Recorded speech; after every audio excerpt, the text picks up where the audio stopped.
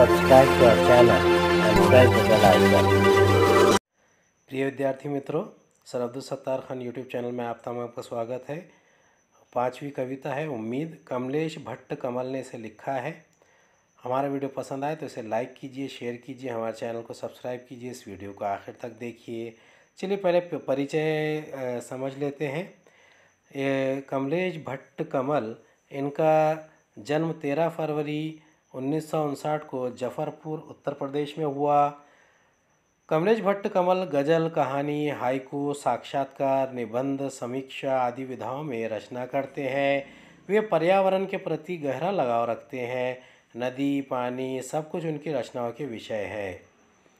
प्रमुख कृतियाँ हैं नखलिस्तान, मंगल टीका, कहानी संग्रह है मैं नदी की सोचता हूँ, शंख, सीप, रेत, पानी, गज़ल संग्रह है। अमलतास ये हाइकू संकलन है, अजब गजब बाल कविताएँ तुम बाल उपन्यास।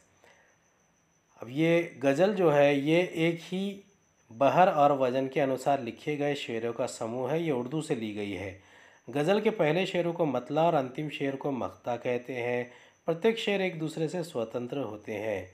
प्रस्तुत गज़लों में गज़लकार ने अपनी मंजिल की तरफ़ बुलंदी से बढ़ने जिजी जिजीविशा बनाए रखने, अपने पर भरोसा करने, सच्चाई पर डटे रहने आदि के प्र, आदि के लिए प्रेरित किया है।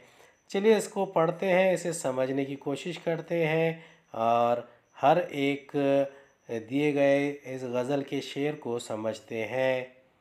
वो खुद ही जान जाते हैं बुलंदी आसमानों की, वो खुद ही जान जाते हैं बुलंदी आसमानों की, परिंदों को नहीं तालीम दी जाती उड़ानों की। अब कवि वर्य कहते हैं कि पक्षियों को उड़ने की तालीम नहीं दी जाती। जब वे अपने पंखों की शक्ति पर भरोसा करके खुले आसमान में उड़ते हैं तो उन्हें ज्ञात हो जाता है कि उन्हें कितना ऊपर तक उड़ना है। इसी प्रकार हमें भी अपनी क्षमता पर भरोसा करना चाहिए। जो दिल में हौसला हो तो जो दिल में हौसला हो तो कोई मंजिल नहीं मुश्किल।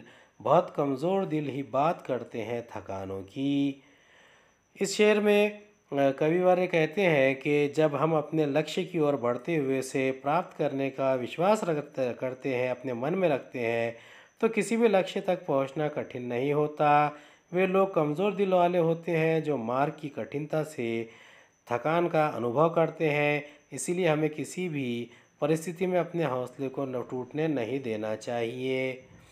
जिन्हें है सिर्फ़ मरना ही, जिन्हें है सिर्फ़ मरना ही वो बेशक खुदकशी कर ले। जिन्हें जिन्हें है सिर्फ़ मरना ही, वो बेशक खुदकशी कर ले।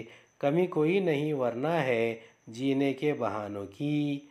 इस विशाल संसार में जीने के लिए बहुत सी वजह है। अनेक लोगों के लिए तो पूरा जीवन भी कम पड़ जाता है अपनी इच्छाओं को पूरा करने के लिए। ये इच्छाएँ कई प्रकार की हो सकती है, जैसे देश विदेश घूमकर वहाँ की संस्कृति के बारे में जानना पहाड़ों पर जाकर रंग बिरंगे फूल ऊंचाई से गिरते झरने, नदियाँ घाटियाँ आदि देखना और भी अनेक चीज़ें हैं, वरना जिन्हें संसार में रहना ही नहीं है उनके लिए ये सब चीज़ें कुछ भी नहीं होती है। जिन्हें है सिर्फ़ मरना ही, वो बेशक खुदकशी कर ले, कमी कोई नहीं वरना है जीने के बहानों की। महकना और महकाना है केवल काम खुशबू का। महकना और महकाना है केवल काम खुशबू का। कभी खुशबू नहीं मोहताज होती खद्रदानों की। सुगंध का स्वभाव और सर्वत्र सुगंधित वातावरण कर देना उसे प्रशंसा की कद्रदानों की चाह नहीं होती। अ, इसी प्रकार गुणी व्यक्ति का स्वभाव होता है कि वो सबका उपकार सबका उपकार करना, सबकी सहायता करना, वो यश की कामना के बिना अपना काम करता जाता है। हमें हर हाल में तूफ़ान से महफूज रखती है। हमें हर हाल में तूफ़ान से महफूज रखती है। छतें मज़बूत होती है उम्मीदों के मकानों की।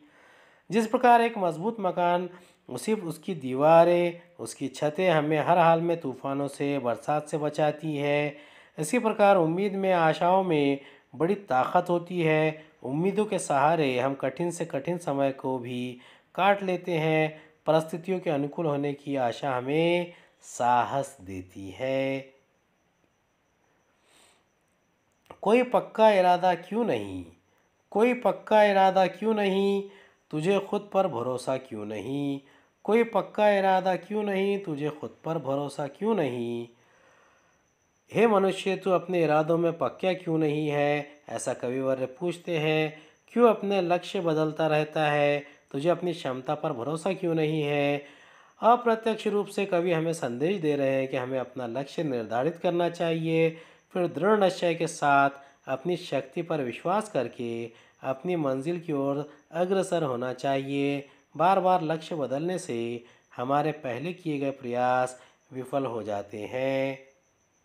बने हैं पाँव चलने के लिए ही, बने हैं पाँव चलने के लिए ही, तू उन पाँव से चलता क्यों नहीं है? ईश्वर ने मनुष्य को पैर दिए हैं चलने के लिए और निरंतर गतिशील रहते हुए अपनी मंजिल की ओर बढ़ने के लिए और उसे बढ़ते रहना चाहिए। मंजिल कभी मनुष्य के पास नहीं आती, हमें चलकर उसके पास जाना पड़ता है। यदि चलना बंद कर दिया जाएगा तो मंजिल भी मिलते मिलते हमसे दूर हो जाएगी। बहुत संतुष्ट है हालात से क्यों? बहुत संतुष्ट है हालात से क्यों? तेरे भीतर भी गुस्सा क्यों नहीं है? कवि असंतोषजनक परिस्थिति और अन्याय को सहन करने के विरुद्ध है।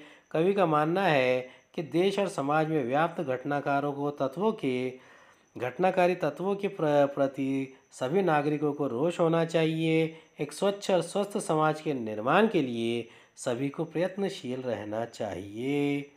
तू झूठों की तरफदारी में शामिल, तू झूठों की तरफदारी में शामिल, तुझे होना था सच्चा, क्यों नहीं है? अब कविवर्य इसमें कहते हैं कि, हे मनुष्य, तुम्हें ईश्वर ने सभी सद्गुणों से परिपूर्ण बनाया है। तुम सत्यवादी हो, परोपकारी हो, तुम झूठे लोगों का साथ क्यों दे रहे हो?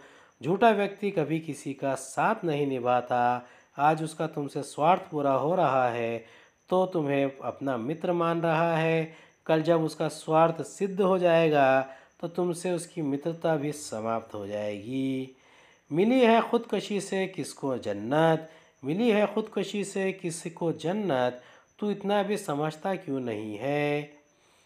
हमें ईश्वर ने यह जीवन दिया है, अच्छे काम करने के लिए, बुरे कामों से बचने के लिए। अगर मनुष्य आत्महत्या कर लेता है तो आत्महत्या करने से उसका उसे जन्नत नहीं मिलती, वो जहन्नुम में जा सकता है, यानी नरक में जा सकता है और सदा सद काम करना चाहिए। सभी का अपना है ये मुल्क आखिर, सभी का अपना है ये मुल्क आखिर, सभी को इसकी चिंता क्यों नहीं? ये प्यारा देश, भारत देश हमारा सबका है, सब लोगों को इसकी चिंता करना चाहिए।